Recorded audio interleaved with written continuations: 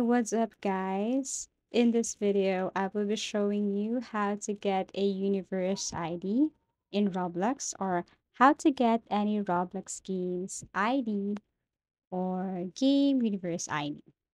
So it's just a very easy tutorial. All you have to do is simply go to your Roblox account and pick any game that you want to play or get the universe ID.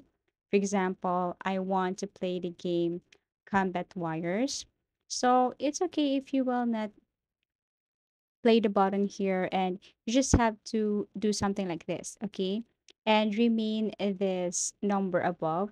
I mean this link above here now, the next thing to do is to simply go to pastebin.com. Actually, I will just put the link below so that it will take you directly, but you have to make sure that you have your account in Pastebin. You have to sign up first, okay? Write your email address or type your email address, your password, and so on. So this is what it looks like. Okay, so you just have to tap the first one here and then you just have to copy this okay copy the link here okay so you just have to copy this one and open a new tab. Paste. Go back to your roblox account. Copy the number just the number.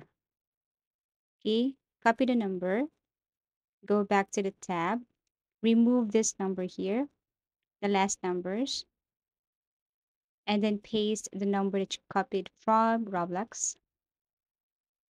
Click, and this is what it looks like. Now you just have to find the universe ID here, which can be found in this area. So that's it. I do really hope that this video helped you. If you want me to do other tutorials, just leave a comment below if you want me to do something or if you want to know something about Roblox, feel free to comment down below. And if you have any questions, just comment down below. And please do like and subscribe to my channel. That would be a big help for me. See you again in my next videos.